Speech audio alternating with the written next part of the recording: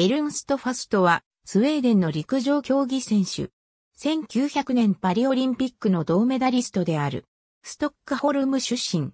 ファストは、1900年のパリ万博のスウェーデンのパビリオンで電気技師として働いていた。パリ万博では、付属大会としてオリンピックが開催されていた。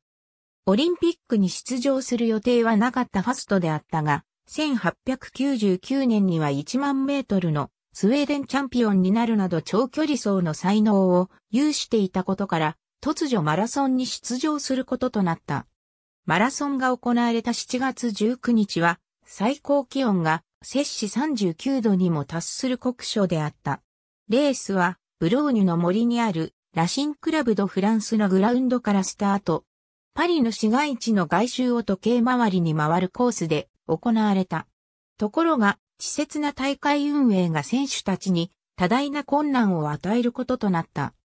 コース案内を行う警官がルートの指示を誤ったり、道中のルートの表示をケチったりしたことから、数百メートルも間違えた道を戻らされたり、コースを迷う選手が続出した。そのような中、コースをよく知っているフランスの2選手が1位、2位を独占。ファストはレース後半、足に不調を訴えながらも、約30分遅れて3位でゴールした。